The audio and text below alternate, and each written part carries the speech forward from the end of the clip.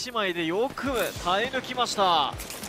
これ1人ダウンしたら終わりですからね。そうですね。これ耐え抜けたのは大きいいですよ。やこれ位置真ん中ですからね、はい。結構。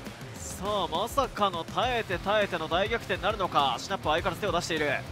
上に GTS 中にアルファ D とユナイト。これ次 FA キッズが逆に動かないといけない状況になりますので。そうですね。岩からそしてこの木から出なければいけませんいやよく耐えていました、はい。リグ。ただ今度はファックアルファ D が出てきたようです。さあエフェキツはメーカーが落ちる。ただドーム素早く起こしに行く。残り4部隊12人。上の GTS はまだ残っています。はい。GTS アルファ D そして FA キッズにユナイト。気づいたらアルファ D がマンション制圧してますね。いやーここが王者の マンションだと言わんばかりの制圧です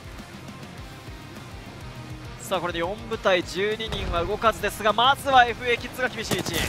そうですねこれかなり厳しいですね。これは暗黙の了解さすがに厳しいか。プロリーグの厳しさ死んだ者に教えていく先輩たちです。さあこれで全滅です FA キッズ。さあ5キルキルリーダー T セ。中に入る。降りてこのドーム以外で合わせたい。しかし EMP すぐに剥がされますさあタイトルにないとユナイトも回復ないですねこれ。あー。F ちゃんが負けませんシールド、はいさあ上でやれるか。なんだこの同居は。最後の角から出るか。ギリまで待ってやはりますねこれ。最後まで人気物件変わらず。さあカラージュは V トールジェットで耐久に入る、はい。順位を伸ばせるかこの上昇ですが下にはアルファ D がいる。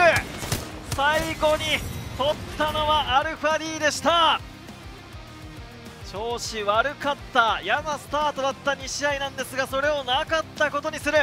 素晴らしい3マッチ目でのチャンピオンになりました。これで8日程連続チャンピオンやはり途絶えません。